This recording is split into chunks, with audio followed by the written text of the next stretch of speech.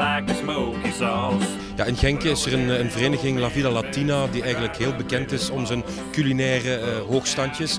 En ze hebben ons aangesproken om het Belgisch kampioenschap barbecue naar Genk te halen. Wel, ons concept vanuit uh, de VZ2 La Vida Latina, toen wij Genk op, Genk op de Rooster gestart zijn, was effectief om een soort platform uit te rollen voor de typische samenleving die Genk kent.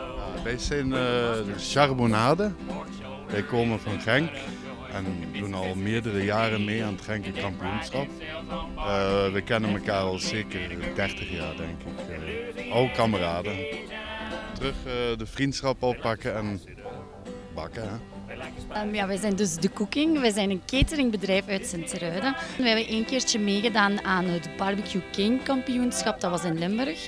En dat hebben wij dan ook gewonnen in 2007. En dat gaf ons eigenlijk een beetje de stimulatie om uh, toch nog verder te gaan erbij en te zien hoe ver dat we konden geraken. Onze leuze is deelnemen is belangrijker dan winnen, de Olympische leuze. En wij doen mee omdat wij oh, in de streek waar wij vandaan komen toch gekend zijn voor barbecuen. Wij hebben het nu een beetje verfijnd en we willen eens kijken waar dat wij staan om mee te doen. Maar winnen is zeker geen must. Het is een plezier, de fun. Wij gaan ook dus de Ros Bijard muziek ook spelen en wij verwachten ook een aantal mensen die met ons mee opstappen in de, in de parade. We zijn dus het Cowboy Barbecue Team uit Oostkamp, West-Vlaanderen. We zijn met elf man, dus we zijn allemaal vrienden en wij barbecue eigenlijk uit passie voor de barbecue. Uh, zeker op zijn westerns, op zijn cowboys, dus, uh, dus vlees genoeg.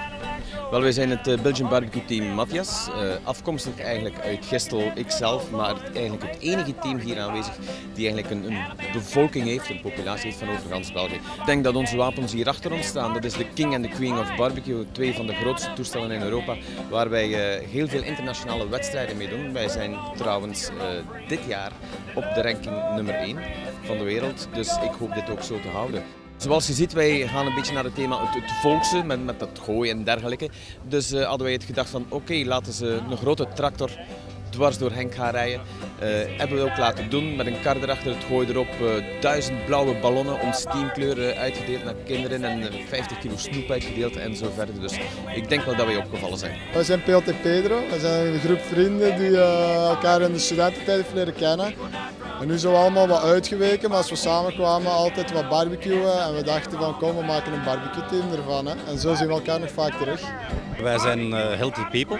Uh, barbecue wordt niet altijd met gezondheid geassocieerd, maar wij doen dat wel. Alles op een gezonde manier, uh, zonder vlammen, zonder vetverbranding en smakelijke gerechtjes maken. Hè. Ja, inderdaad, smaak.